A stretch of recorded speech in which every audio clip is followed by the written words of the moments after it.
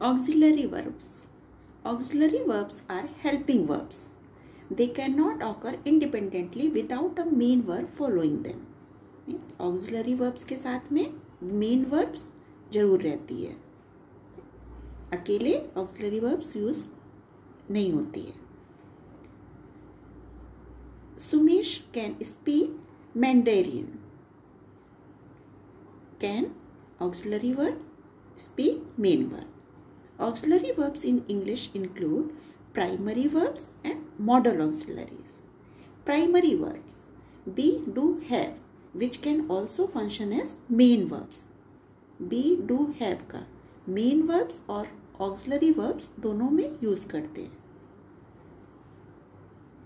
modal auxiliaries which express possibility necessity permission and prediction such as will, can, may, shall, would, could, might, should and must. All auxiliary verbs are irregular verbs. That is, they form their past tense forms in irregular ways. The primary verbs be, do and have have many grammatical uses like making negative sentences I brushed my teeth. I did not brush my teeth. And making continuous tense. I am brushing my teeth. Making the perfect tense. Maybe भी use कर सकते हैं have brushed my teeth.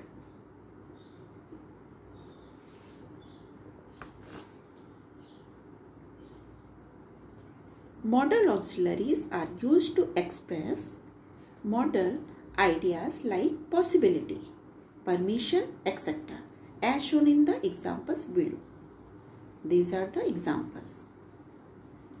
Satish can read Arabic. Ability. You can have the cake now. Permission.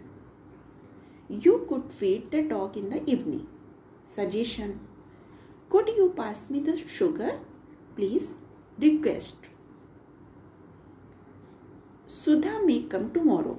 Possibility. Rana might not bring the scooter back. Possibility. May I use the bathroom? Permission. Anna will buy me a new hat. To indicate future. Albert would often watch the night sky when he was a child to indicate past habit. You must bring my notebook tomorrow. Obligation. You should tidy your room before the guests arrive. Suggestion.